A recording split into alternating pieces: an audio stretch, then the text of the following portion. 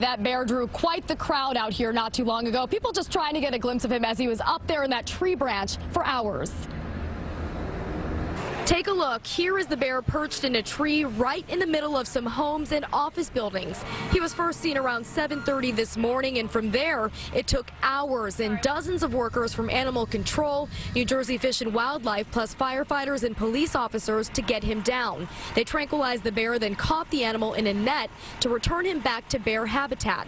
Animal control says he appears to be from New York because of his orange ear tag. People first reported spotting him earlier this week a few miles away in Ridgewood near the Saddle River, slowly making his way through the town, even seen near the middle school, grade school, and county park. I was very excited, and I haven't been to work since.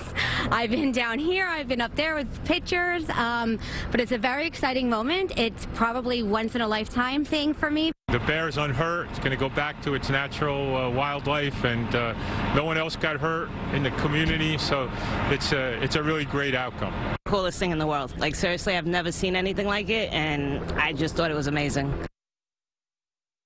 And the mayor says the last time they spotted a bear here in town was last year, and before that, a decade ago. We're live in Fair Lawn. Reena Roy, CBS 2 News.